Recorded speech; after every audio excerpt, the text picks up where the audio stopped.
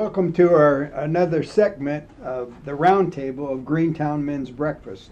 And I'm Ray Doershuck, and we want to bring some topics that are questionable, topics that are that that everybody has an opinion on, but really, what does God say about that? And then, what does the Bible say, and what what do we feel as as solid Christians? What do we feel across the table of about this topic? So our topic today is is is alcohol accepted in a born again Christian's life?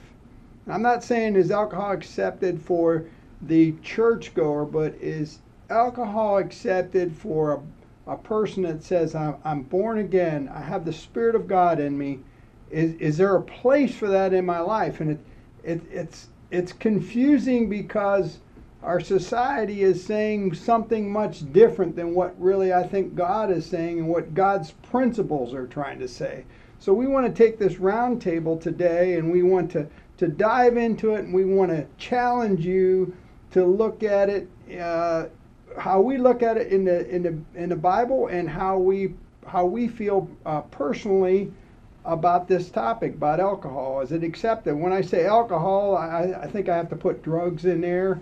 I think we have to put down other things like that. Anything that is is mind altering is what we want to talk about today, right, guys? Yeah. So I have Dave on my right. He can introduce himself. Like I said, I'm Ray Doershuck. Welcome to the Roundtable of Greentown Men's Breakfast. We are Christian Men's Breakfast, uh, trying to tell men about how to follow Jesus as a man, not to look to the right or to the left, but what is the Word saying for us in, the 2023, 2024, and so on, what, what is the Bible saying how we should operate our life that men might look up to us and not question us, but they would look up to us? So go ahead, Dave. Amen. My name's Dave Horner, and I've known Ray for quite a while, and it's a pleasure to be here. I'm excited about talking about alcoholism because that was a big part of my life in my younger years. And when I came to know Jesus, it uh, slowly became a less part of my life until uh, probably 42 years ago it became no part of my life. So I'm just here to join in the conversation Amen. and give my input. Great. Yeah. And I'm Steven Graybill. I'm glad to be here. I have had the pleasure of getting to know Ray and Dave for a good few years here at the Men's Breakfast. It's been great to build our relationship, and it's just great to be able to gather together and talk about these things. It's uh, I know it's a sensitive topic for many people, and uh, I know it is for me in part, um, but it's just I think it's a very timely issue, and it, it's it's just one of many that we're dealing with in our in our culture and our society, and so it's good to be able to kind of have a nice roundtable discussion and start getting into it and see where we can go. And uh, I like your your preface uh, preface there about how how does this affect someone who's a born again Christian? What does that look like for us? It may look differently for others based upon personal convictions, but you know what what does the standard say? The scriptures, the word of God, that's our standard that we Amen. need to constantly bounce these ideas because the world's always changing, but but God never changes, and His word is faithful. So that's what we need to measure everything we come agr- uh, everything we come up against to that standard and see how it how it measures up or if it doesn't. So I'm glad to be able to be a part of this discussion. So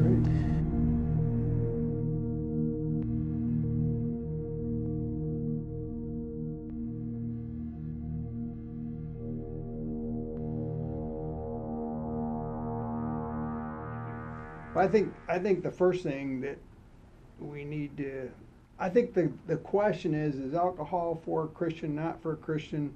We're bombarded by our society and especially in the last year or two years our commercials on TV it shows people having fun when they're using a mind altering drug and I don't think that's really totally true. I, uh, uh, you know, they, they, they put the the mind altering drug with having fun. Well, if your mind altering drug, if you can't remember it or you're not doing it in your right mind, is it really fun? But I don't think our TV today projects that. Am, I- am I right? Or, You are right. you know, I, I also think too when it comes to um, looking at what the culture says versus what the I'll I'll use the terms biblical culture that we're that we as believers are wanting to hold our lives to and measure accordingly. There almost has to be a, a, a clear line where wait a minute, if I see how the culture is in, in a way redefining what drinking alcohol looks like, and it, do I even want to have anything to do with that? I mean, uh, this, looking at this one article here, uh, it, it, referred to a point in history where um, uh, where alcohol was more acceptable drink because of uh, lack of pure water. so I mean, at a time that well, let's drink a, uh, safer uh, drink for the sake of health, but as a time and place for that. We have so many other alternatives. We have pure water, and there's no reason why we would try to use that as a justification. Like, well, I, I'm drinking for my health. You know, a glass of wine once a day and things like that.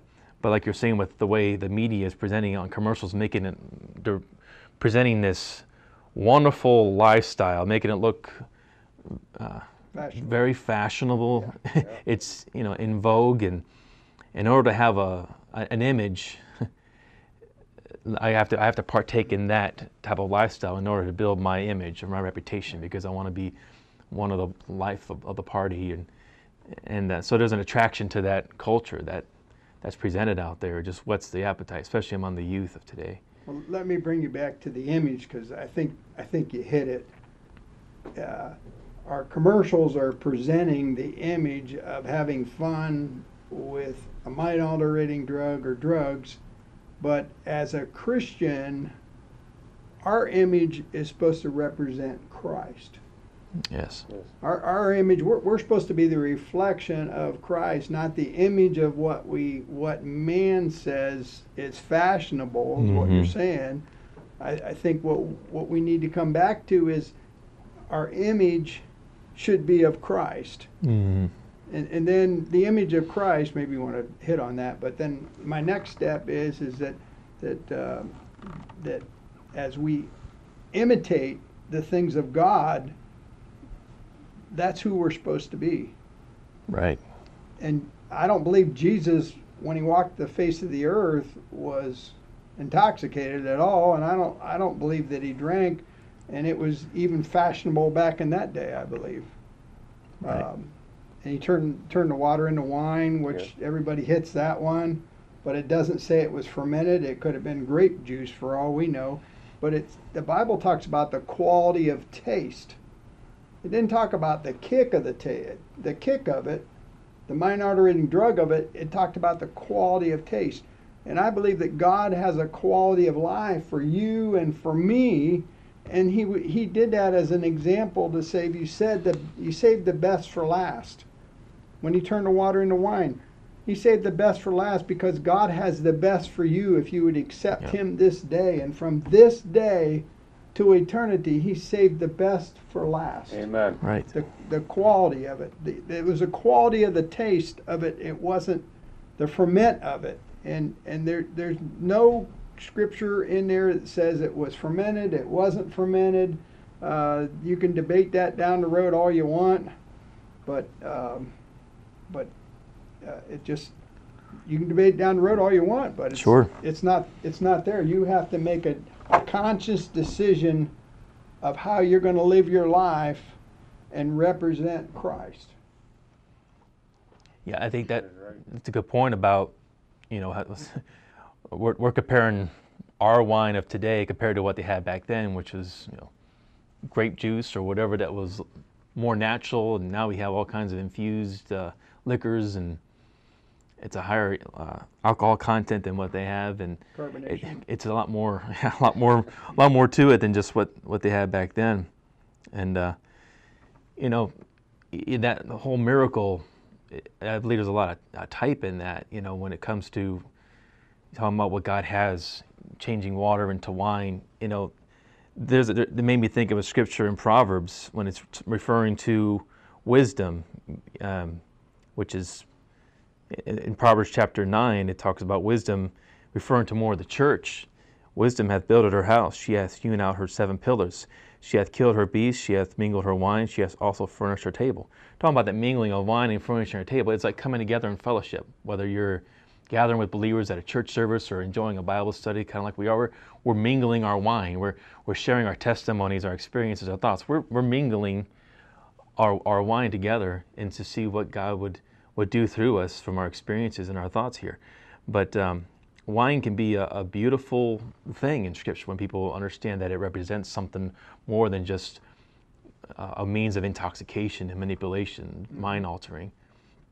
And um, but I think I think there's a there's a time and a place for some of that, and that goes with the the culture that they they needed to have uh, an alternative for their drinking back then versus what we have now. But people are wanting alcohol as an alternative to fill a void in their life. It's a, it's become a, a coping mechanism of sorts anymore, and uh, a kind of uh, almost its own drug to uh, to uh, drown out realities that people have to face, and it's a it's a poor substitute for for what we really need in our hearts. Right.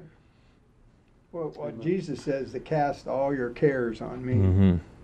and uh, our commercials, if I go back to that, they're saying, uh, you know, if you're overwhelmed or whatever, take something to help you relax, take something to calm you down. Mm-hmm.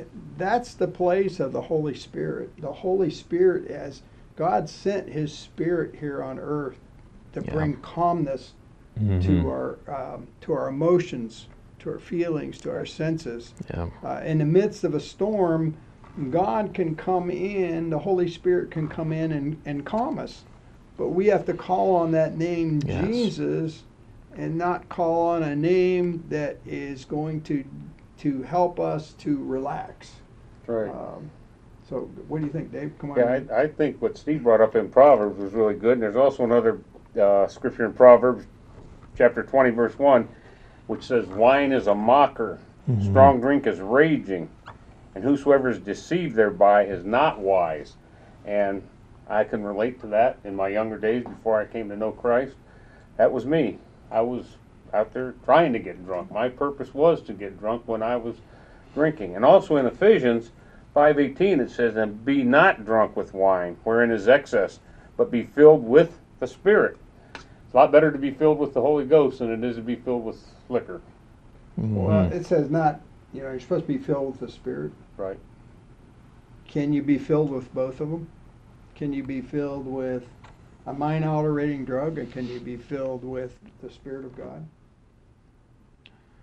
I would lean toward, my, from my perspective, that if, a, if one is really filled with the Spirit and all that that entails to be filled with the Spirit, that be a, praying lifestyle, a devotion, a walk with God, walk with the Lord um, among His family, that would drown out the need for and would almost condemn the believer as to I need to get help with this if it's an issue, or let me not try to take two because you can't you can't serve two masters, right. as Jesus says. You know, right. you, got, you can't serve God and mammon. Mammon, whether it be money, drugs, you name it, anything in this life that people try to use as a as a filler for what what ultimately only God can provide.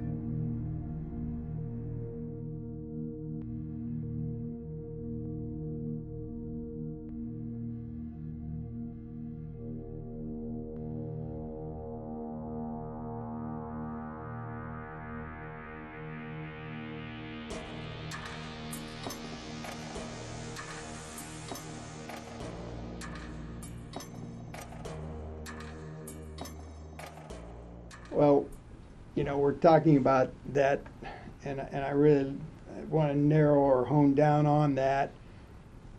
Can you be filled with the Spirit of God and can you be filled with a mind altering drug? Because Jesus, the Holy Spirit cannot, it cannot be close to sin. It can't, it can't, uh, it can't fellowship with, uh, with unassuredness. Mm-hmm. Um, in as born again Christians, when the Holy Spirit speaks to us, He speaks to us at night when we're calm, when we're relaxed. Mm-hmm.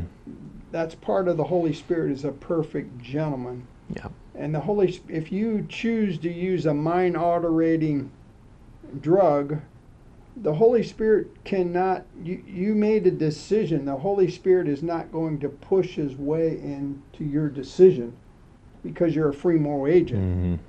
So, for a free moral agent, then we have to give place that our mind is clear, uh, that the Holy Spirit can come in and speak to us. Um, you, you know, the, the house is divided, you know Mm-hmm. if it if it's on two different things and and you're dividing your house you're dividing uh, your your spirituality with with demonology and it it, it it won't it won't jive it won't go it won't work No. I believe that's right. Yeah. I think even if a person tries to do both, whether they're really a they're really a devout Christian, they're wanting to be committed, they they know in their heart of hearts that God is the only source of deliverance for this condition, and yet there's still that addiction that they have that they're struggling with. Sure. So there'll there'll be that storm, that that torrent in their heart, knowing that they, they that there's something wrong, that they've got to they've got to get it right. But I, I see what you're saying. They can't cohabitate because that drinking, that problem, opens them up for that mind altering, and that's where that's where the real emotional damage starts to happen if it's not if it's not left unchecked and dealt with.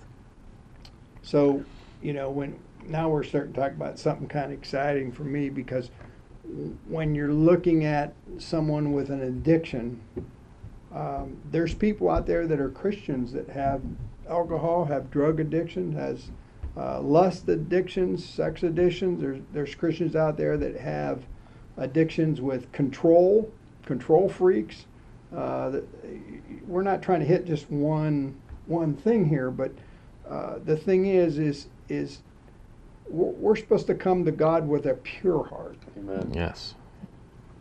not an alternate, not an alterating heart, not a heart that uh, that is.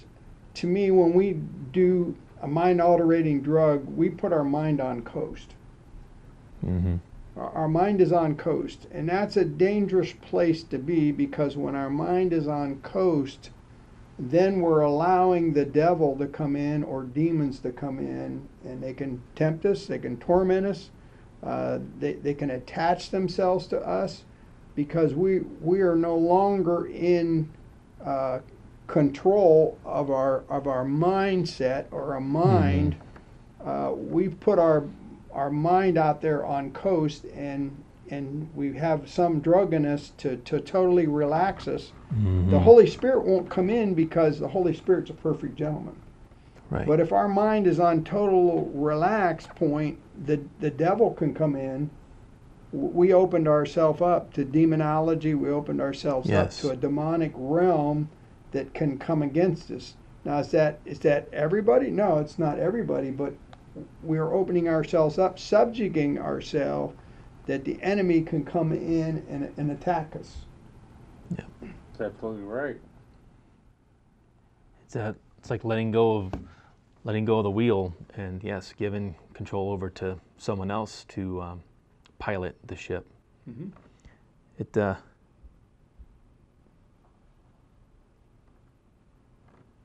it, was, it made me think of a passage in another one in Proverbs. Who hath woe? This is Proverbs chapter 3, starting with verse 29, 23, 29. Who hath woe? Who hath sorrow? Who hath contentions? Who hath babbling?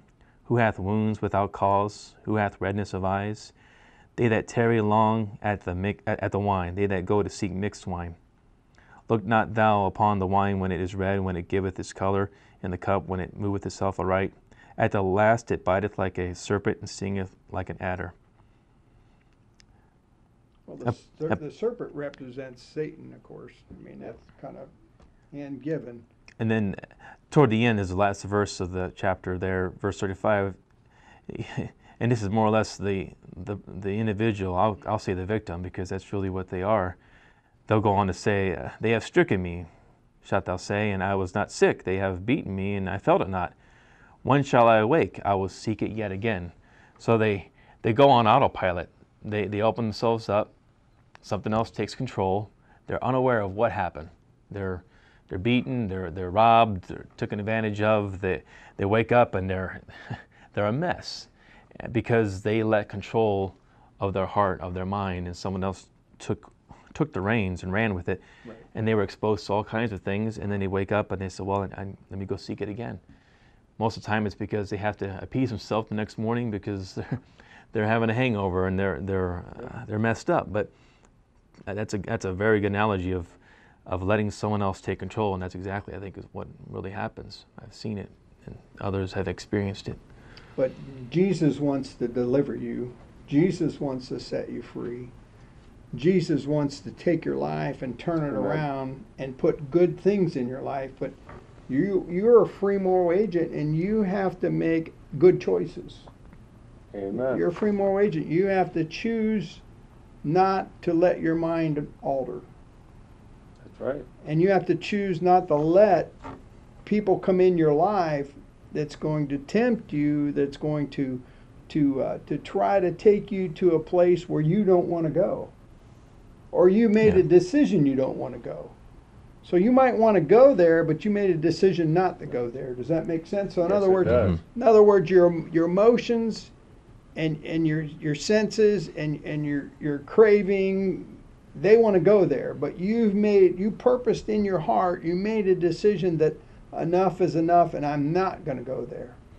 Or you you've come to the place where you've seen uh, mind altering drugs, drugs, alcohol, uh, sex addiction. You've seen that in your family, and you said that's not going to be under my doorstep. That's not going to be at my doorstep. That that's not going to be in my home because I'm not going to give the devil, the demons, a place in my house. Right. So you, not only my house, like my my my physical house, but my my spiritual house, my my body, my my mind, my emotions, my feelings, my senses. I'm not going to give a place for that to happen in my home. That's right, and that's a choice. And in the jail ministry that I'm involved in, we deal with a lot of guys that have been down some rough roads. And we tell them that if you really want to make yourself better, if you want to do better, you have to change your playground and you have to change your playmates. You There you can't go. go to the Come on. same places where you've been going, where you've gotten in trouble, and I can attest to that. I had to do it myself. And you can't hang around with the people that you used to hang around with that are going to drag you down. And there's no no better explanation than the life that each of us are living today is a result of the choices that we made in the past. And I made a mm-hmm. choice in 1979 that I wanted to follow Jesus, and it's changed my life completely and Amen. totally. So it's all choices. Amen. Amen. So you're you work with a drug and alcohol. You go in what three days a week there, right? I'm roughly? actually I'm I'm there four days personally. four, four days there ministering to the bulk of those men or substance abuse. The bulk of them are, The yeah, bulk of them. yes, The bulk of them are substance abuse that someone helped them, took them down the wrong road, correct. and they're in there for what ninety days or Some are just there a few days, some are a few weeks, some are, uh, the, the max is about, uh, I think there was one guy in there about six months. That was the max. That's max. That's radical. Yeah, that's radical end of it. Uh, A few But- days to a couple months. So they take guys in there and they slap their hands. They're they're not in prison, but it's a form of prison. It's an incarceration Yeah, it's facility, incarceration- yeah. incarceration facility, and they're in there with all these other guys that have the same problem they have. Yep. And you're taking the light of the gospel, the light of Jesus in there, and four days a week, and saying, "Hey, there's a better way." Amen, Right? amen, exactly. Maybe you never heard of this one called Jesus, but he can not only save your soul, he can he can help deliver you. Correct, Because I don't think God delivers you totally. You you have there there's a part that you have to play. Yes. that is right. There's a part you you have to play. That first the part is you have to make a decision. I'm going to change. That is Right. correct, yes. And I tell them, we tell them, uh, there's other ministers with me, and we tell them, just like the Billy Graham Crusades, he, they used to sing a song, Just As I Am. Gee, God wants you just as you are. Don't try to get rid of all your garbage and become perfect, because you're not going to become perfect to start with. But that was my thought when I first started thinking I wanted to get spiritually right, that I had to become perfect before God would accept me. No, He wants you to come just as you are, and He'll help you. You submit to Him, and He will help you get rid of the baggage and the garbage that you're carrying with you. Mm-hmm. So you, you purpose in your heart to make a decision, I'm going to change. Right. But the second thing is you need the power of the Holy Spirit and you need the power of the Word to back that up, or you're, you're going to fall.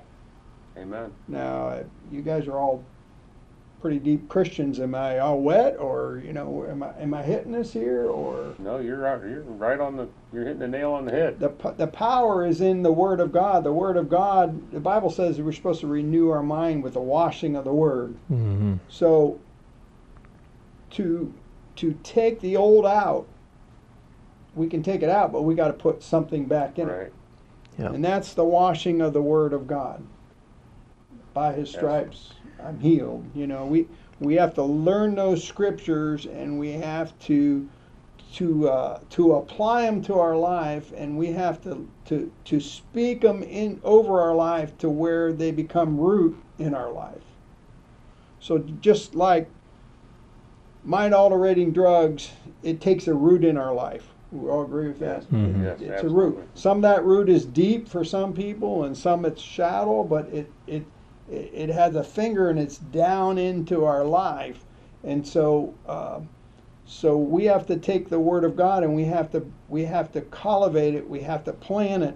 We have to uh, to to to work it to where our to where we know our spirit man believes it, but our mind has to believe Yes. it. Mm-hmm. So we have to change our mindset, or we have to reprogram our mind. We have to reboot our mind. Uh, lots of ways you could say it, but but we have to basically uh, convince our mind that the Word of God is more powerful than that substance. Am That's I, right. Am I right? Or That Sure. is you right. guys want to throw something in here? I mean, it, Well, you're talking about uh, having something in you in place of the mind altering substance and, and things. It made me think of um, Jesus' words in Matthew 12, verse 43, refer, referring to uh, the, an unclean spirit that was delivered out of a person. Yes. He says, when the unclean spirit, and this can apply to any kind of evil spirit of sorts, but or it could be an alcoholic spirit, which that's kind of another another layer too. But when the unclean spirit is gone out of a man, he walketh through dry places, seeking rest, and finding and findeth none.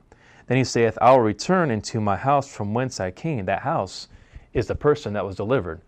Um, Jesus delivered a person, and that spirit left. But for some reason, the spirit says, I'm going to go right back in. And when he came back, he finds that house. Let me read here. Then he said, Then he said, I'll return into my house from whence I came out.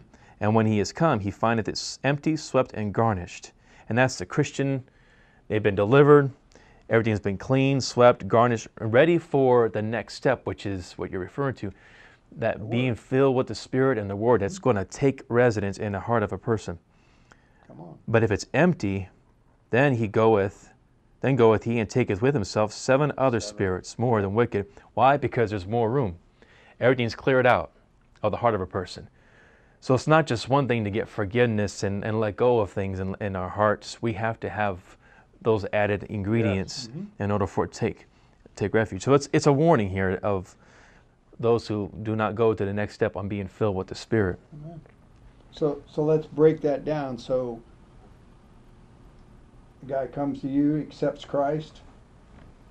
You he denounces his addiction, he denounces his stronghold, he accepts Christ. He's a new creation, new creation. That's correct. Mm-hmm. But Amen. he's clean, but there's nothing in there to fill that void because he's not done the the work or he's not done the uh, the study to fill that with the power of the word and the power of the spirit. That's right. Mm-hmm. That's right. So we have a we have a lot of people that come into our to our, our Christian gatherings, I'll say, and they get healed, they get delivered, they get set free.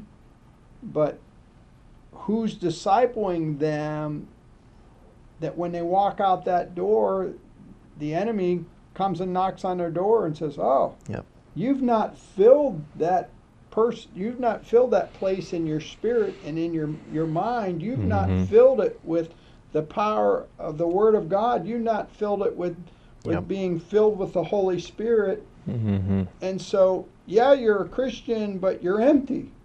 Yep. So I have the right to come back in exactly where I was before, right where we left off. We're picking Mhm. up again, but I'm bringing some of my friends with me. Yep. Is that is that That's exactly right. because I think a lot of people don't get that. Yep. You know, a lot a lot of people don't get that. It's like, well, I had an experience, you know, at this Christian gathering, and yeah, I, you know, but yeah, I don't know now. Well, they didn't further their walk with Christ. Mm-hmm. Correct. Yeah, you got to get some prayer time in. You got to start looking at the Word, reading the Word, finding out what it says. Don't just trust what the preachers are telling you. Get in there and confirm it and read it for yourself. Spend time with the Lord. And you know that there's this. Uh, I like what you had said, Ray. Um, you're bringing in this this very critical point of mentorship and discipleship that is so needful. And uh, but just a side thought, you know, this issue of justification of different ones wanting to justify taking drinking or these other ways of dealing with their stress. It's just like kind of how this little article kind of puts it. It's, it's 5:30 on a Friday at the end of a long week, and you've just gotten home. Your boss yelled at you. You had to deal with an angry customer, and all you want to do is kick back and blow off some steam with a few drinks. It's been a long week, and you've earned a hard drink or three, right? You know, well, for us, if we had a rough week, if things happened, we're going to go to the Lord in prayer about it. We're, Amen. we're not going to go to a, a bottle. That's something that's going to taste terrible and it's going to have ramifications that are totally not.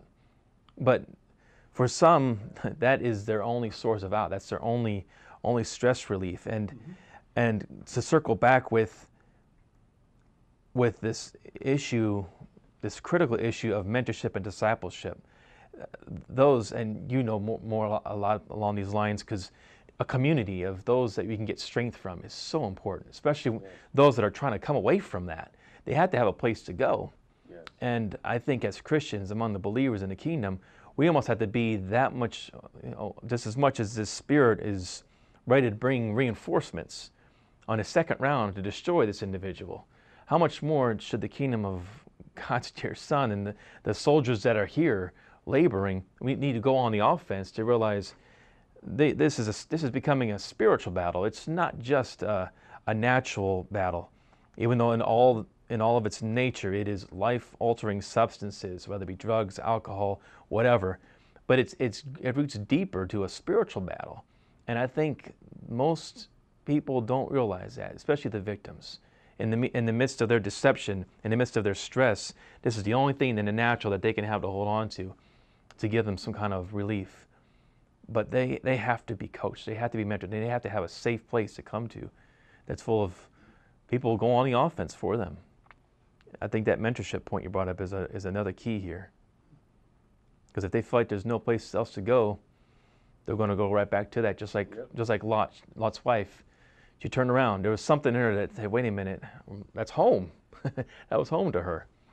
But even Jesus, that was one of the shortest scriptures of the Bible, aside from Jesus wept, is remember Lot's wife. Yes. You know, and another one that's short but powerful is pray without ceasing. We got to pray and seek the face of God because when we realize that this is a, a, a wicked spiritual battle, there's a, there's a deceiver and an enemy whose only role is to rob, steal, kill, and destroy. Amen. And, and we have to go on the offense. And this is definitely not a laid back topic for sure. It's a serious one. Amen. Well, I, I, while we're some of the keys, one of the biggest keys is instead of coming home and opening a refrigerator, we need to turn on worship music. Yes, that's You know, the the enemy, Satan, the adversary, he was the chief worshiper mm-hmm. and he he was so close to God that he thought he could be God. But his power is in is in music. He knows Mhm. he knows the power that is in music also. When we turn on worship music, anxiety goes. Automatic. Mhm. When we turn on worship music, depression goes. When we turn on worship music, we start our emotions and our senses and our feelings, we start we start relaxing. Yes. Mm-hmm. And so that's a key for someone that's coming out of the world and coming into knowing Jesus is one of the keys is is worship. You know, battle it by worship. Yes. And and uh, and uh, I know my wife is big on that. You know, and, and when she gets down or whatever, she'll turn the worship music on and. She told a, a guy that went back to rehab this week. She said, "You know, when I get depressed, I, I turn on I turn on God's worship. Amen. I turn on worship and, and I read my Bible. I don't want to read my Bible, but I read my Bible. She reads her Bible because she needs it, not because she wants to. And and those are some of the keys of of uh, coming out of of a, of a lifestyle of ad- addiction. Um, th- there's ways to come out of it. It just doesn't happen overnight. Right. It's a, it, you, you, you walked into it slowly and it's a battle to come back out of it. Mhm. And it's a battle to come back out of it because when you win, you're not going to go back. That's right.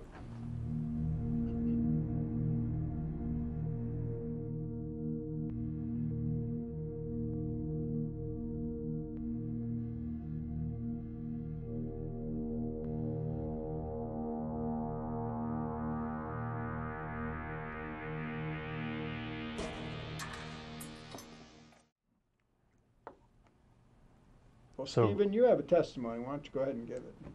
Uh, well, it's, there's a lot of experiences, and uh, I will say that just when we're talking about alcoholism and how how what an impact that can have on a person's life, and uh, especially those around them. If anyone is, you know, if not, maybe not necessarily have been an alcoholic, but have suffered, you know, because of a loved one that it, it is difficult because it, it affects them differently, especially as a child. I, I remember my father had struggled with, with alcoholism, and I, I still remember probably my youngest, earliest memory I have was just as a little boy, and remember my father coming home. I was excited to see him, but uh, he looked like my father, at least in part, but because he was so intoxicated, he, he didn't quite look like him, and I was took him back.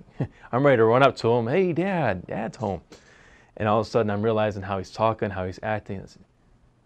This is this has got to be him, but it sure doesn't look like him. It doesn't seem like him, and and I, and that uh, scared me for the first time. I still remember that. I I was I was so young. I might have been four or five, maybe even younger, but that was my earliest memory of realizing, wait a minute, this is very awkward. This should be my father. This should be the one that comes home. I'm excited to see him, but there's, then there's this, um, this other man that's in my home that's you know, acting and, and and I won't go down the details of other experiences along the way where you know it, it wasn't so subtle. It was more violent. Waking up the night, you know, hearing the conflict between him and my mother.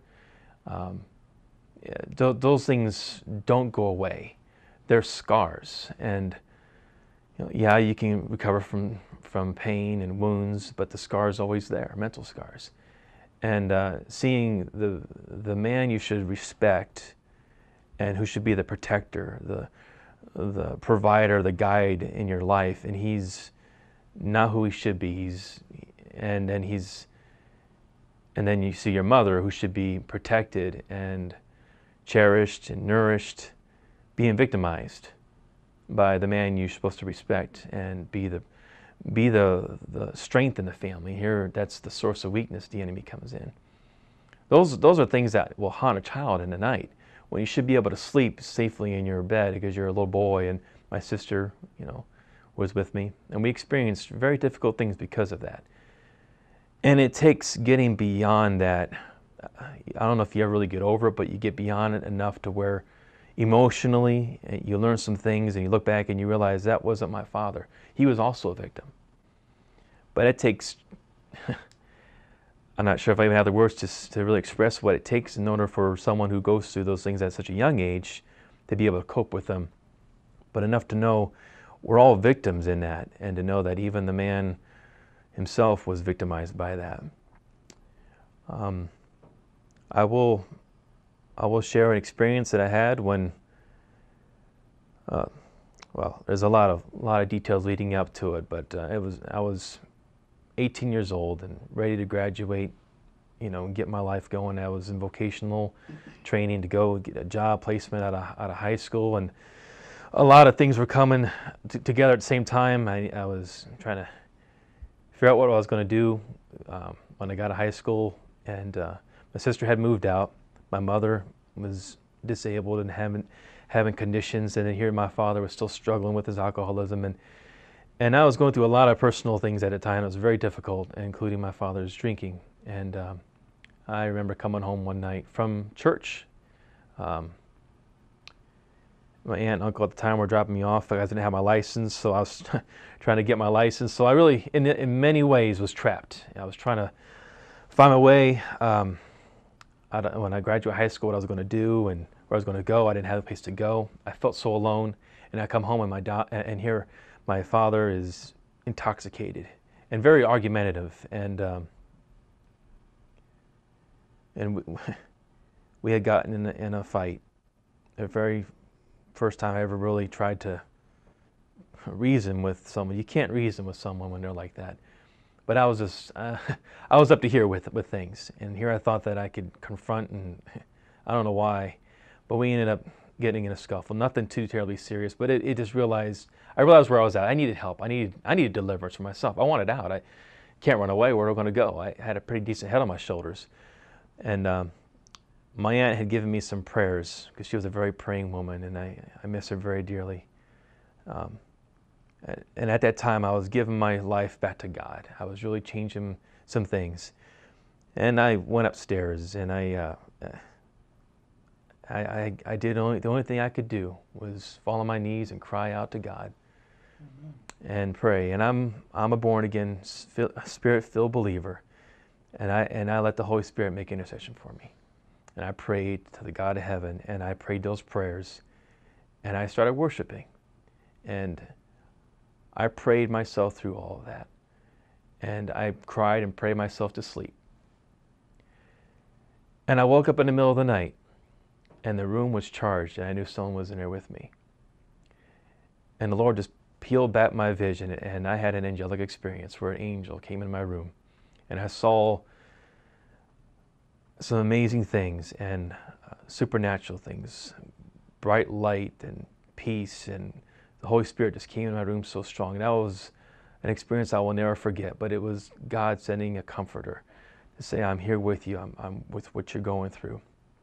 And uh, and, and that was a turning point in my life because it let me know that God knew exactly where I was at. And He sent an angel, and I had a heavenly experience. Amen. And from that moment on, I had a closer walk with God, and I had some amazing experiences after that. And I needed them.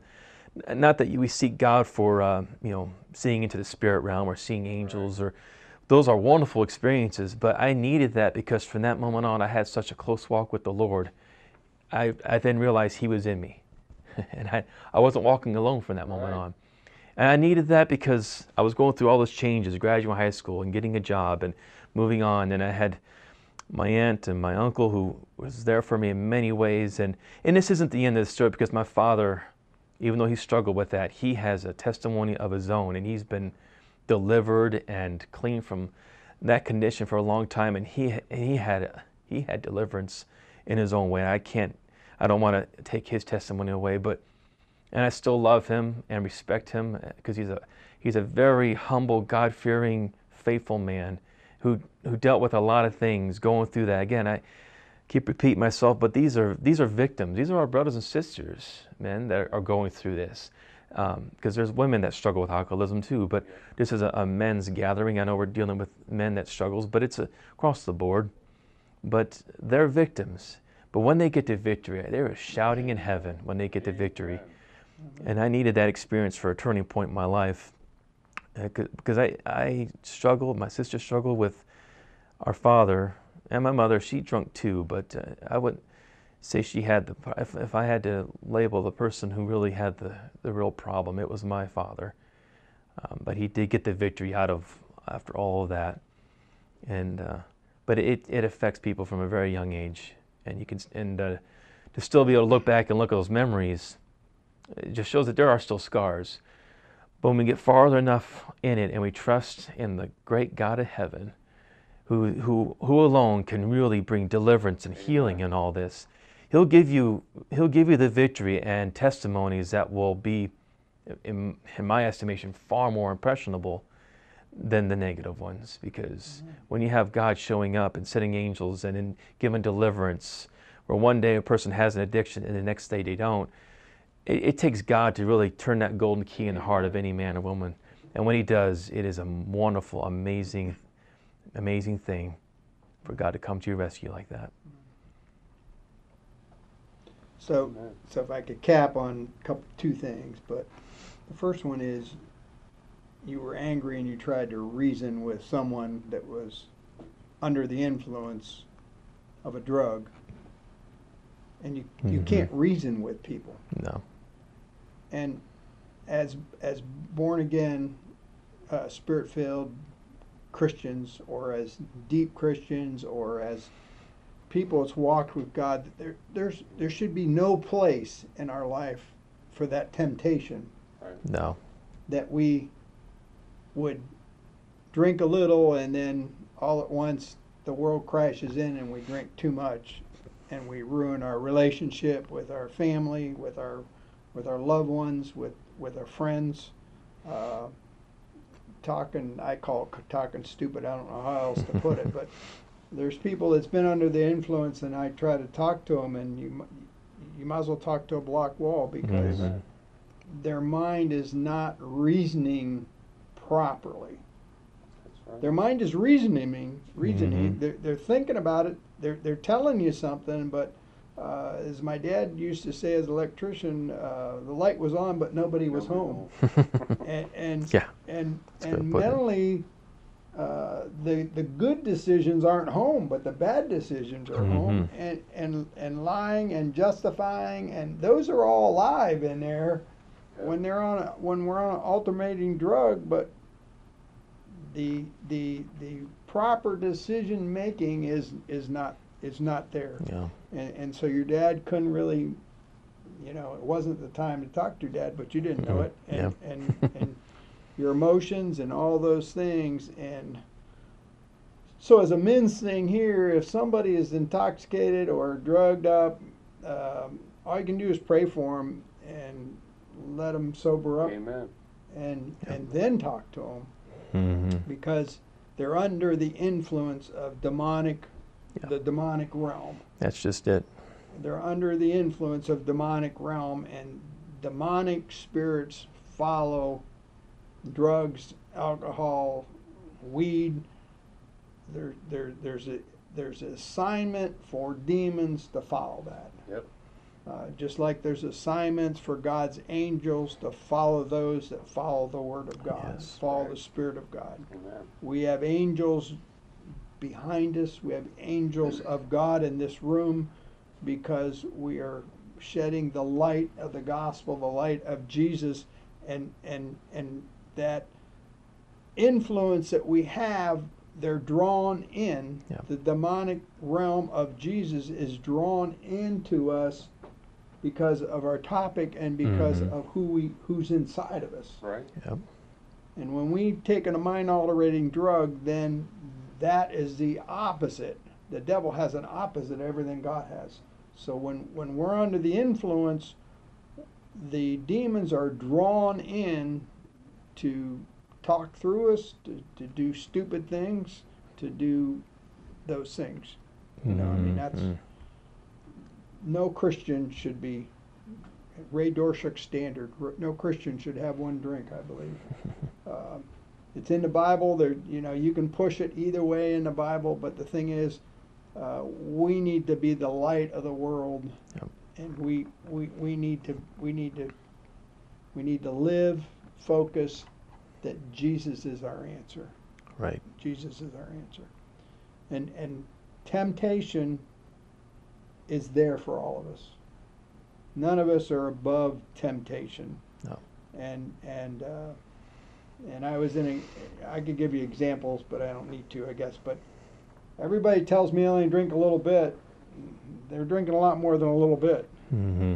You know, I mean, I know a lot of people. Oh, I just had a guy about three months ago tell me, you know, just does a little bit, and uh, something happened, and he would he, he, he has the hard stuff, you know, back in the back in the corner. So my point is, it's a temptation. Yeah. And some can control it, some can't. But if you can control it, we're still supposed to be accountable to God. Our, our life is supposed to be spotless, just Yep. like Jesus. Our life is supposed to be, uh, we're supposed, people are supposed to pattern their life behind a born again Christian. Right. And, and, and, uh, I deal with enough things to try to keep my life, try to keep that pattern of things of God without putting questionable things in there Mhm. that I could fall or that I can cause someone else to fall. Right.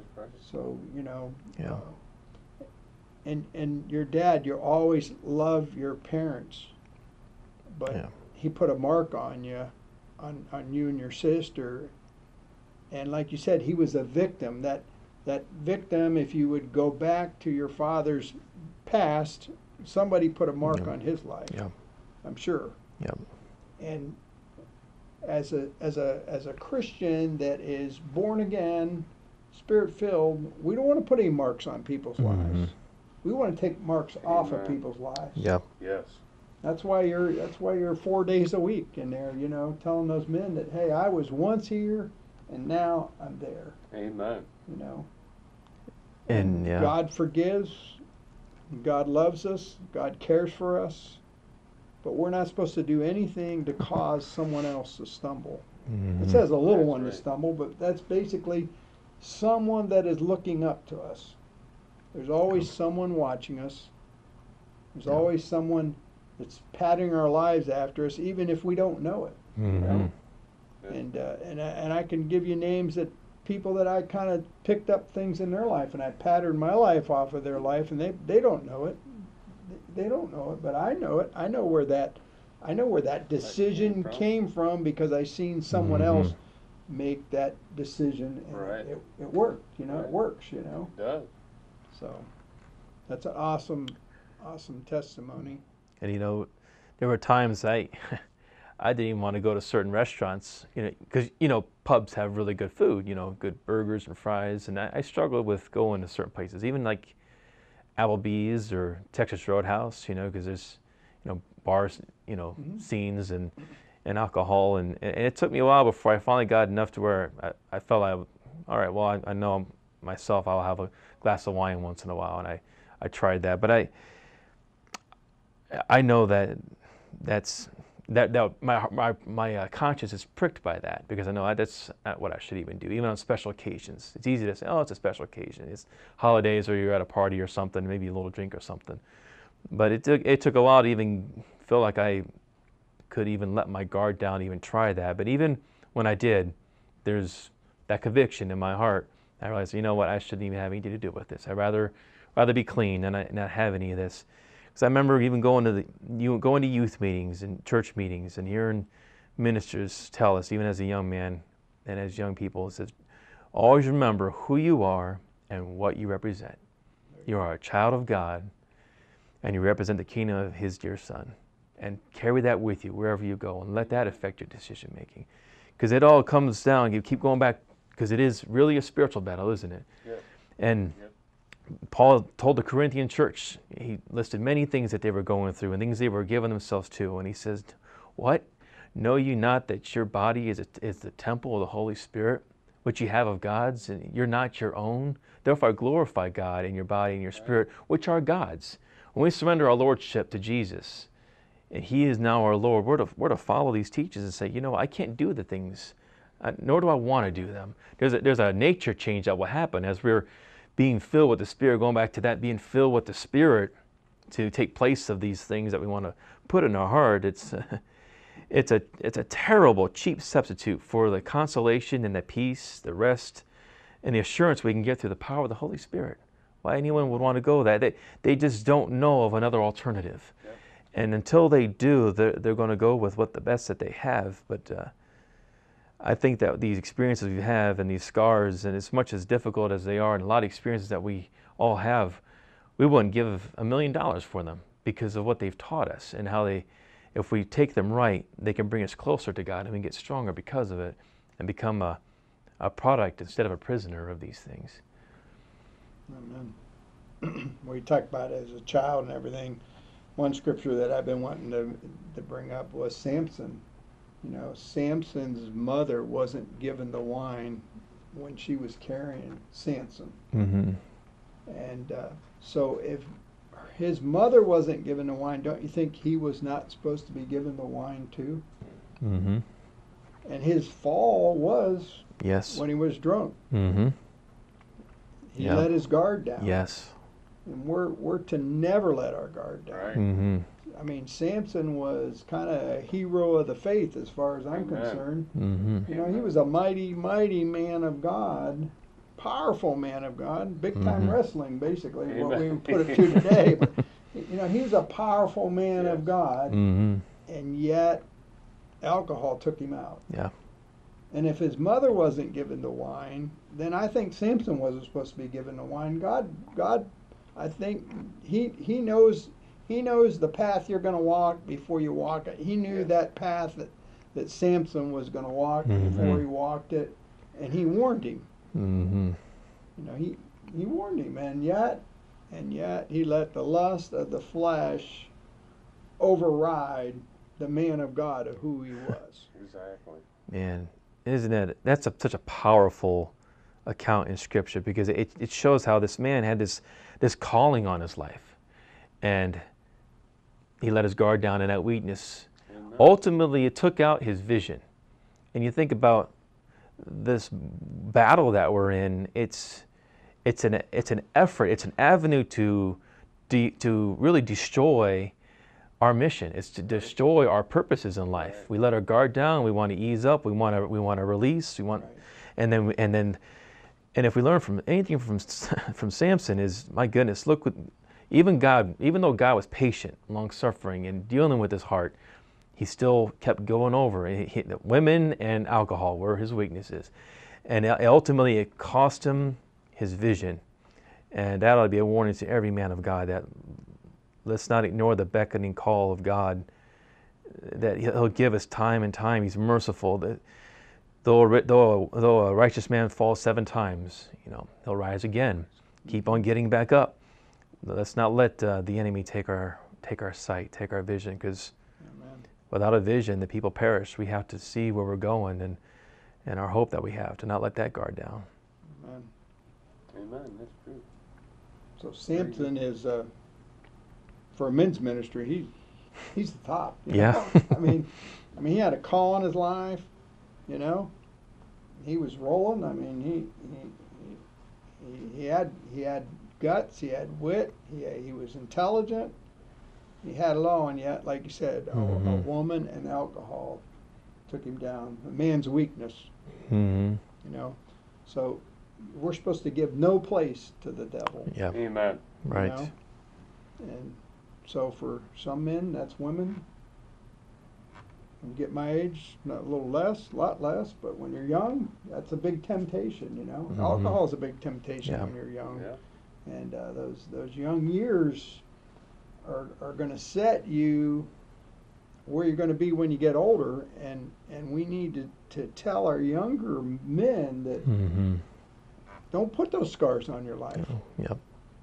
Don't put those scars. Talk about Samson. He had some scars, buddy. Like you said, his eyes were taken out. Yeah. He was used as a mule, basically, and Mhm. uh, I'm sure that there was someone there whipping him when he wasn't working. Oh yeah. I mean, he was in slavery. You know, that was that's what they did for slaves. He was a Yeah. slave. You know, he was he was an animal, basically, is how they used him. So he went from a mighty man of God to a a slave that people laughed at him. Yeah. That's what sin. That's what what, what uh, uh, codependency stuff. That's what it will do to us. It'll make us a slave, just just like him. Yeah, Really? it's a real Right. deceiver. And his Samson's hair that was over his head was his covering, and that shows we have a covering on our life. God's Amen. watching over us, and Amen. a- any of these things that we do um, that in the under the guise of leisure or um, relaxing or just letting our guard down, really is what it really comes to. Is we're getting out from underneath the covering of God, and, Yeah. and that's a dangerous place to be, especially when the enemy's really got us in his sights. You know, some people he has already deceived, and but if he can get the shining ones, Yeah. Um, all lives matter. Obviously, everybody's important, and, and, and salvation is to anyone. But he's looking for principled people that he can destroy because he knows he has enough intelligence not to give the enemy more credit than he deserves. But he's wise, he's smart, and he knows certain individuals. If he can knock them down, if he can get the soldiers and the leaders out of the way, Yeah. There you go. those that are looking to those men, those women, those people that have a powerful influence, a powerful calling, like Samson. Everyone was looking to him. But if, if he can get Samson out of the way, same thing with the Lord. He tested him, if thou be the Son of God. Three times. Commanded the stones be made bread. Mm-hmm. Cast yourself down. Angels will protect you. Right. You know, man, here, fall down and worship me. I'll give you all these kingdoms. I mean, the enemy evidently had power to be able to give those kingdoms to the Lord. Because he showed them, if you just worship me, I'll give these to you. So there's things that the enemy will give people in this life. Along with it, hardship, destruction, and eternal damnation is the end. I choose life. Amen. I so, choose life. So your testimony, I think I'd just look look in the cameras there and just just pray for somebody. Right now, right now, there's someone there. yeah. There's someone there right now. That you're watching us, and God is speaking to you. Amen. God is ministering Yes. to you right now through His testimony. So we're- we're gonna. Yeah, let's pray for them. Amen. God of heaven, God of all mercy, God of all comfort, all knowing, compassionate God. Yes. There are so many, oh God, that are out there men and women, children, young and old, that are victims and being victimized by alcoholism and all, all kinds of addictions, really, even though the topic here is. Is alcoholism, but there's all kinds of things in this life that want to intoxicate people, to deceive and lead them astray. Oh, holy God of heaven, deal in these hearts. Anyone listening and watching, send them peace. Send them comfort right now. Send them consolation, Lord. Draw them near to the help that they need. Uh, someone, send someone in their life to lead them into the into the light and lead them to a place where they can find healing, rest for their souls. Because ultimately, oh God, that's what we all all. We are all your children, seeking your rest, seeking your peace. Please help these ones, all these that are broken. Lord, they're open their hearts to you. As you open your heart to God, I pray you find the peace. I pray you find the light and the help that you need. We ask this, Father, in the name of our Lord Jesus. Yes, Jesus. Amen. Amen. Amen. Amen. Well, we got a great testimony.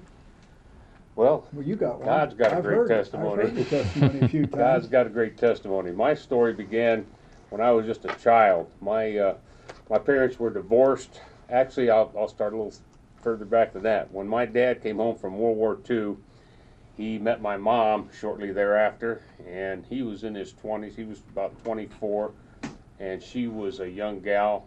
And by the time she was 17, they dated for about six months, and then she got pregnant with me.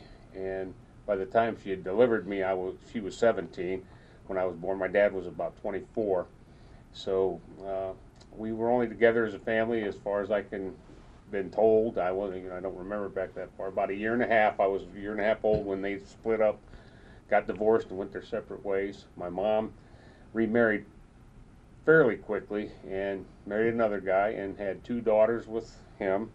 my dad moved on, but he didn't get remarried right away. But he eventually get, got married, and I had a stepmom and a stepdad. And uh, long story short, my dad had visitations on on weekends, and I got to go with him almost every weekend when I was just a little kid. And I, that's the only, you know, that's the way I thought life was. You know, your mom and dad.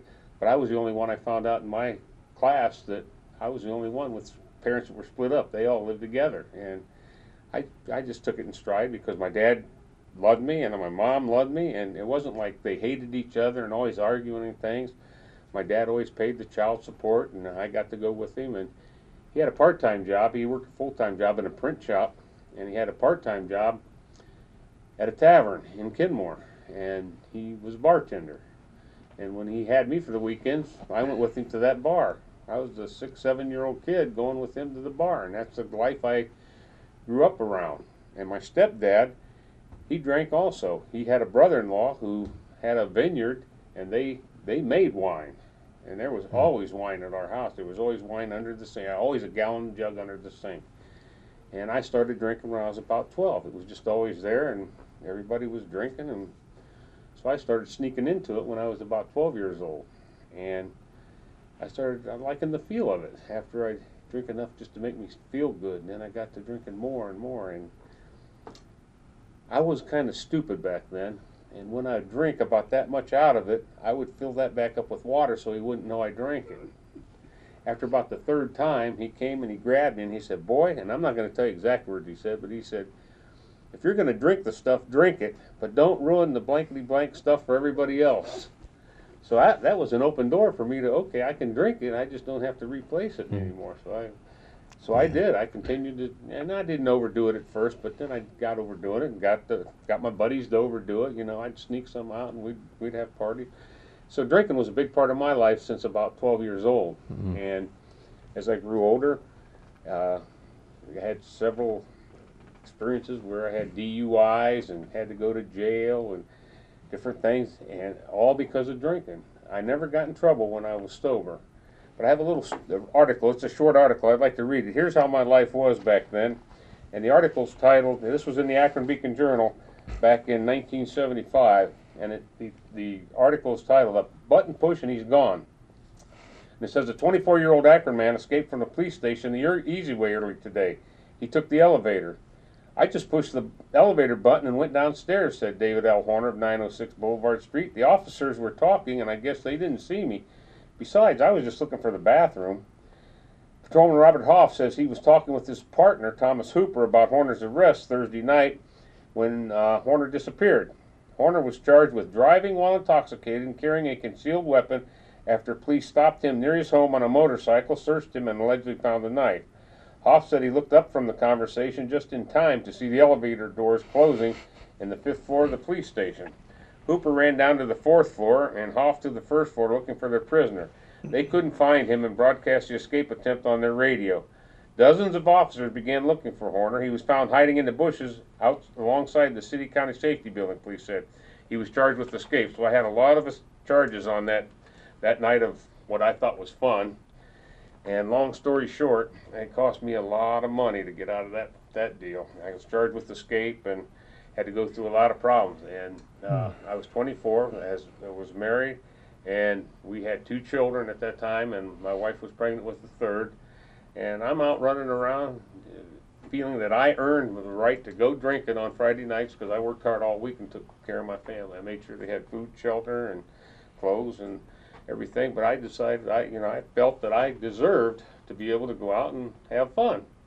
But my fun always cost cost me a lot, and not including arguments with my wife when I did finally get home. But uh, that carried on for 10 years. We were married in 1969, right? I was right out of high school. I kind of was like my dad. Uh, she became pregnant. We were dating for two years. I met her when she was 14. By the time she was 16, I had gotten her pregnant, and we got married right after high school. Uh, I was in, I was, she was in 10th grade. She had to quit high school, but I just graduated.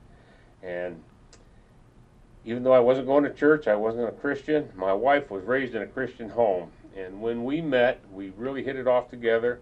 And uh, she really was attracted to me, and I was attracted to her. And over that two year period, uh, she thought she was going to bring me up to her level and get me saved and born again and go to church and everything. But I drug her down to my level, and she ended up becoming pregnant out of wedlock. So, even though I was a heathen, I knew the right thing to do in my heart because I was raised not to, wasn't from a Christian family, but we were taught to not lie, cheat, steal, or do any of those things. We were taught good morals, although I violated all those.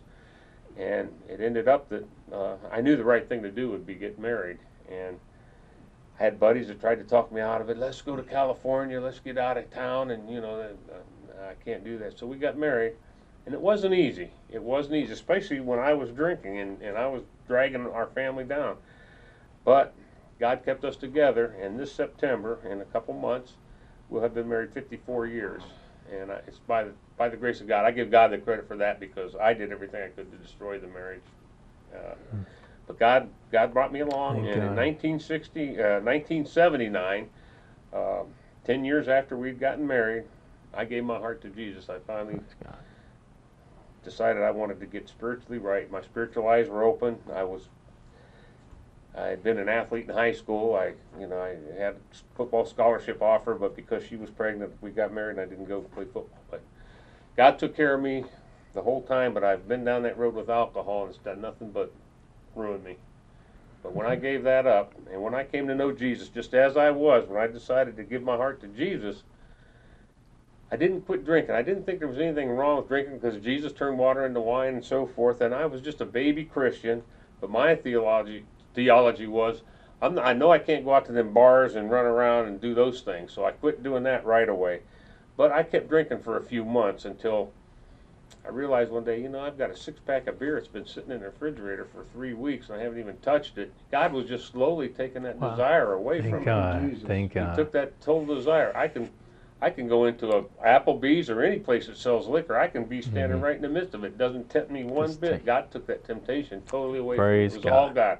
To give Him the credit. Hallelujah. I mean, I was going down the path of destruction, and I never Mhm. thought I'd leave, live to see 50, let alone 72. But I praise God. He, I give Him all the glory. Thank the He's Lord. taken- he just took my baggage that I had with me when I came to Him and accepted Him as my Savior. Slowly, just started working on me and getting the, the garbage out of my life, and I praise God. I'm, I'm Yes. just blessed, blessed by the best. Thank God. Amen. Thank But your past is what God's using Right. Now. I can relate to guys that are in there going through things that I went through, and I tell them, you know, there's only one way, and that's just way. to make up your mind you you want to do better, and then strive to do that. Prayer is the key. Yes. Prayer is the main key. Give your heart to Jesus, and then pray. Fill those voids that are once you're delivered. Fill that. Fill your heart. Amen. Here you go. Fill that void with the Word of God, with praying, and seeking to do good things for Him. Amen. Yes. Don't leave the police station, right? No, don't and don't walk out of the police station unescorted. But that, that's, uh, that, God used your past Yes. for where Amen. you are today. Yes. He can Absolutely. take your weakness. He can take your struggle. He can take your your bondage and when he delivers you and when you choose to clean up, Yes. then God uses that for a platform that you can help others. That that's where you're at today. You're you're you're trying to tell those young people, most of them are younger. Most of them are young. Most of them are younger in. Most there. of them are. I've been in there a few times with you. Most of them are younger, and you're trying to tell them, hey, there's a better way. Yes. Absolutely. I've been down both roads, and I'm staying on the road I'm on. with The Jesus. narrow road. Yeah. Wide is the gate Wide is leads the path of to Jesus destruction, according to to our word. Right. Wide is the gate. There's lots of people going down that wide gate. Correct. There is. Yeah, there's lots of people. So, so why don't you uh, let's have you do a prayer. Amen. look in the camera and talk to the Amen. people and talk, talk to them and send Amen. everyone. And I used to work for the electric company, and one thing we used to do is ground the the equipment. Uh, have to have grounding to keep everybody safe. And on the high tower poles and stuff, we we take a we take a uh, a wire and hang it up in the air because when lightning hits, it hits the highest object. And so when I pray, I like to raise my hand because I because I believe that if something comes down from heaven, it's going to hit me, and I want to be there. Yes. So, Amen. so let's let's pray. Amen. Bow your hearts with me as we pray. Lord, I just come to you in the name of Lord Jesus, God. and we know there are a lot of people in the United States of America and across the world who are addicted to alcohol and to drugs and other mind-altering Yes. substances. And God, we just come before you right now, and we're asking you to touch hearts.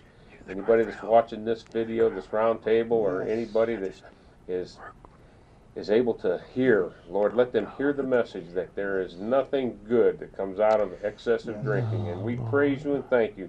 I praise you and thank you personally for for blessing me in the way you have, delivering me from that. And it's just a choice. I chose to come to you, Lord, and I'm asking you to let other people that are hearing this message choose to also change their lives if they're if they're in a struggle or they're, they're not happy with the way their life's going. God, the only way to do is to open their spiritual eyes and to come to know Jesus as their Savior, first step, Yes. and then strive to serve Him. Jesus said, If you love me, you'll follow my Yes, commands. And Lord. all through the Bible, there are rules and regulations that tell us that if we do this, we'll get that, and if we do good, we'll get good.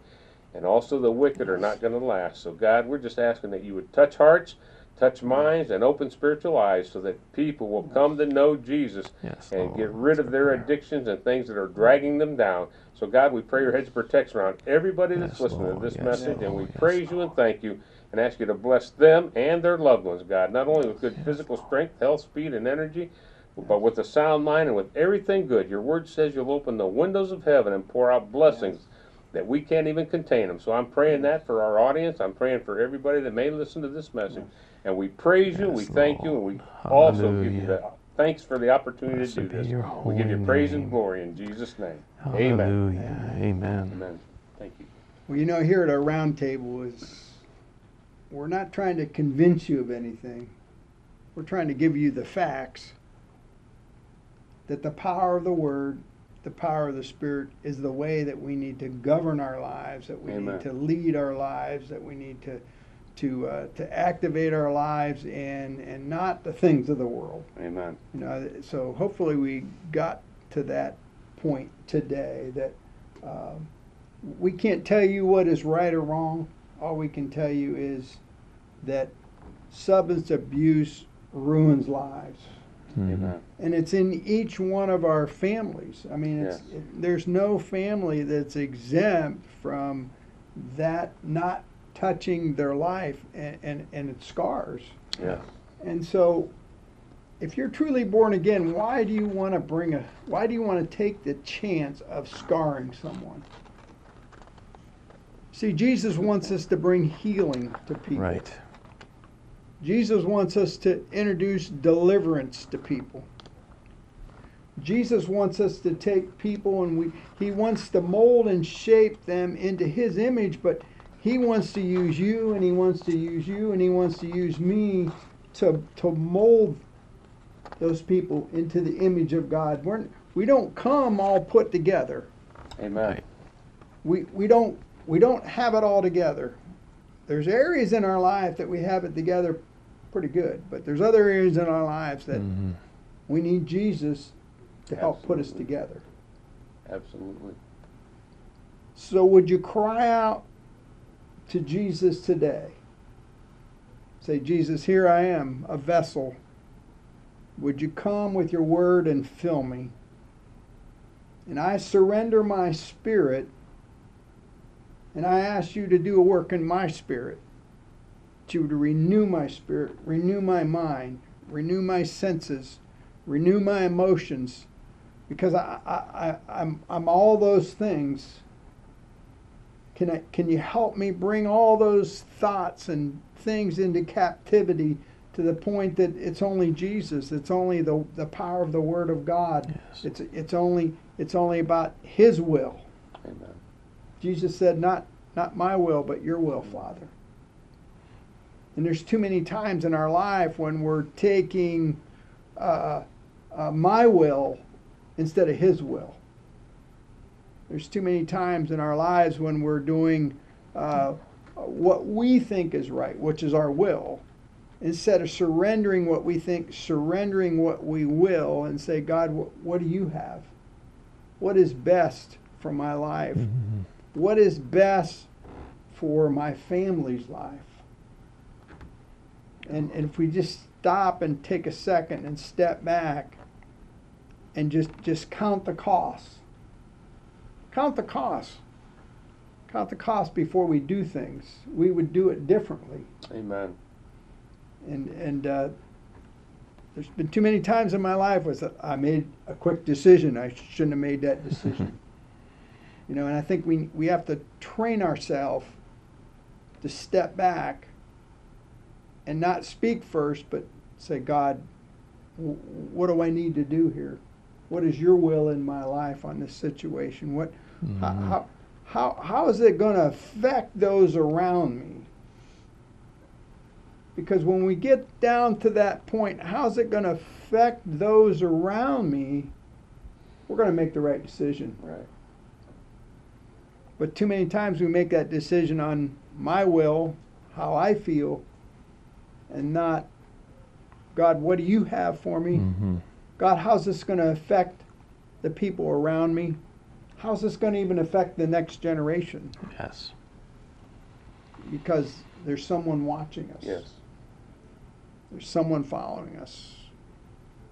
There's someone that's patterning their life after our pattern that we were shown, and we need to uh, we need to rebuke those things in our life that that are not right. That that that was put in our life that is not not according to God's word. That is not healthy.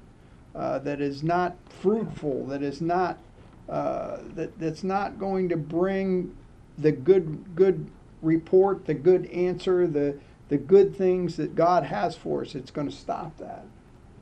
And so we we as Christian men, uh, we need to look to the Word of God, rightly dividing the Word of God. The Bible says. Amen. Yes. So there must be another way we could divide the Word. You know, rightly dividing the Word. Uh, and uh, the Holy Spirit says that He will be our teacher. Yes. So it's not what we think, but we need to say, "Hey, Holy Spirit, what what are you trying to tell me here? How are you trying to mold me and shape me into the image uh, of God or into the image of a man that other people would marvel at your power that's in me, through me, around me? Will Mhm. people marvel that we were a Christian and, and they know we walked with God? They know we walked with God. I have a lot of Christians that passed away, and I wonder whether they really walked with God. You know. Yeah. And and, and they're they're past, they're gone, but I'm still here. You're still here. Are we walking with God to the point when when we take our last breath, will people say, "Now there's a man that walked with God. Mm-hmm. There's a man that not only knew the Word of God, but could." Uh, could decipher the Word of God, or they could activate the Word of God to where it was living inside of them that they walked with God. Yeah. They walked with His Word. Mm-hmm. They walked by the Spirit.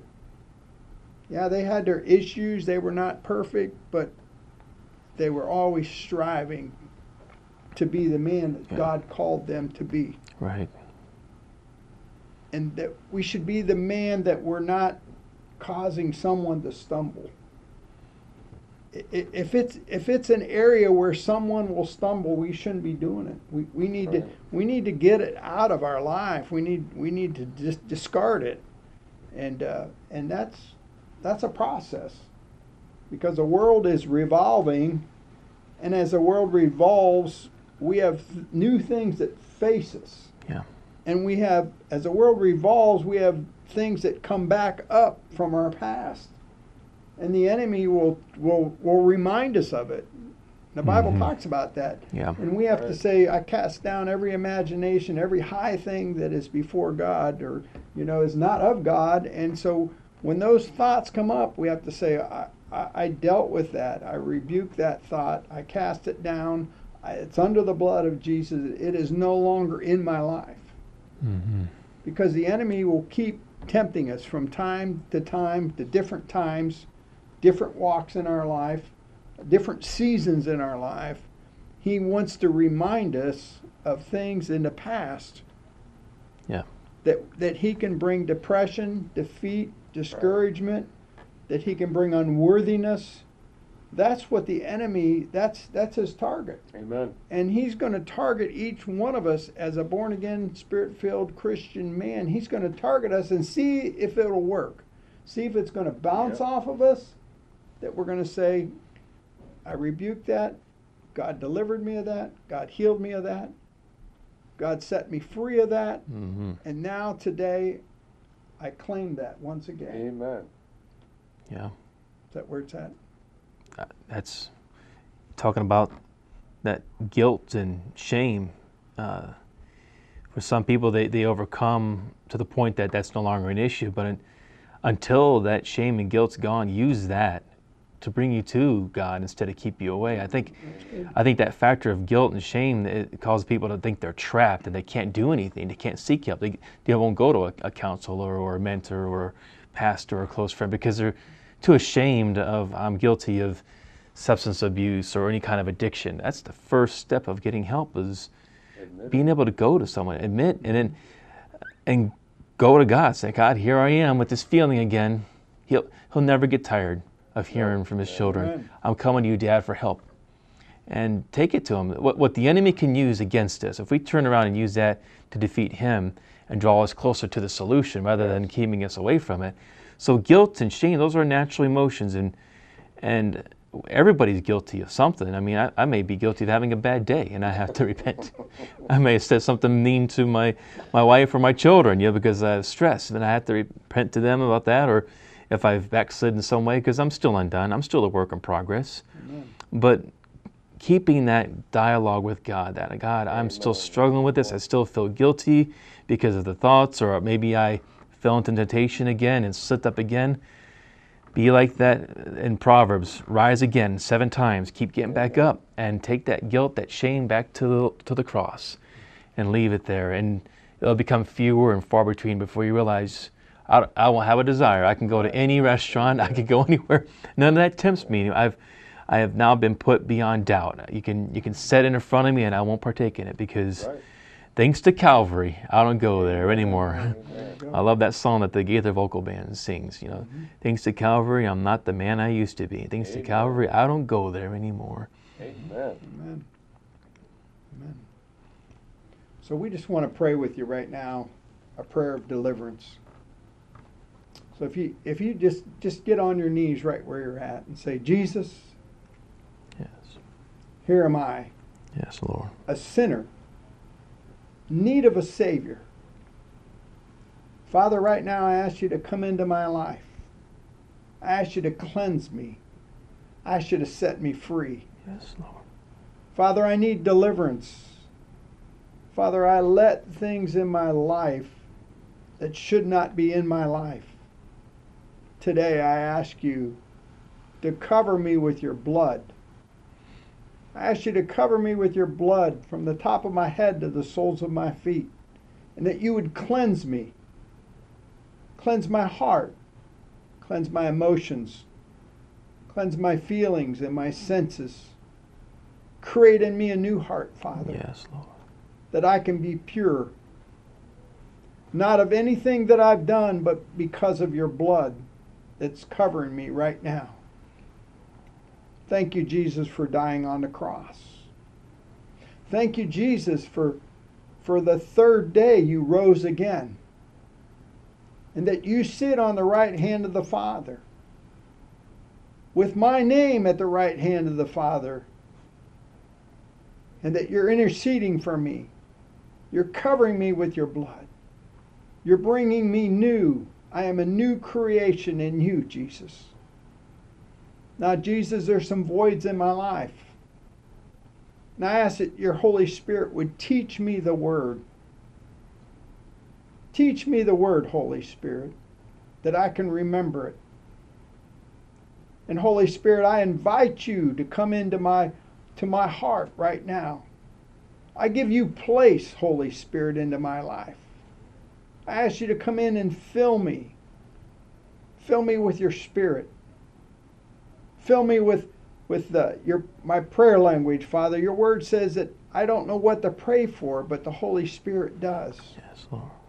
So I ask you to right now to take my lips, to take my vocal cords, and that you would you would mold me and shape me, Father, that into the image where you'd have me to be. And Father, I'm going to get up from this prayer new. I've made a decision to change. I made a decision to cast down the things in my life that's not according to your word. And I'm believing that I'm made new. Now, Father, I ask you to bring Christians across my path that could help me, that could teach me, that could mentor me, that could, could speak into me. Father, you have an army out there of, of people. And I ask for those people of you, of Jesus, to come into my life and to mold me and to help shape me and to, to mentor me and to make me to make me new, to make me a better person.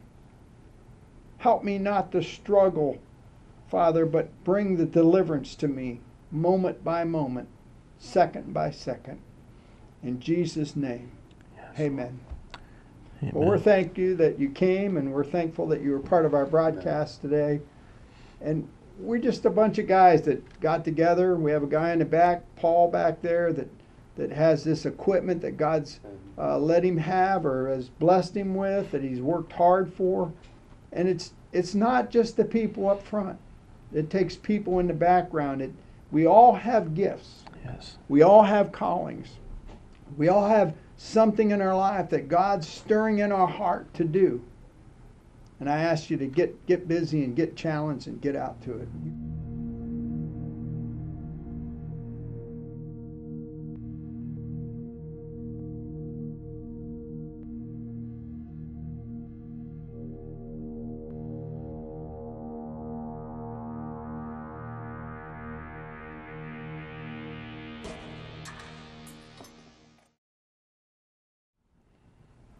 Well, we're part of uh, Greentown Men's Breakfast, uh, all of us guys here. And we just wanted to take a moment and share with you from our heart a topic that uh, most people don't like to talk about uh, because it's so controversial. People think it's controversial. I don't think it's controversial. I think it's very plain uh, that God says that we're supposed to repay, restrain from from anything that would cause someone else to stumble, uh, anything that would, would bring somebody down or smaller. So, so we got together this broadcast, we got together this roundtable, and we're just thankful that you were part of it. You can look us up online, Greentown Men's Breakfast. Uh, get us on YouTube, get us on the whatever else we're on, wherever you found us, and tell your friends about us that. Uh, that hey, these guys are just a bunch of guys, average guys, getting together and uh, uh, sat around the table and and uh, and tried to uh, to bring light on what a Christian man is today. God bless you all.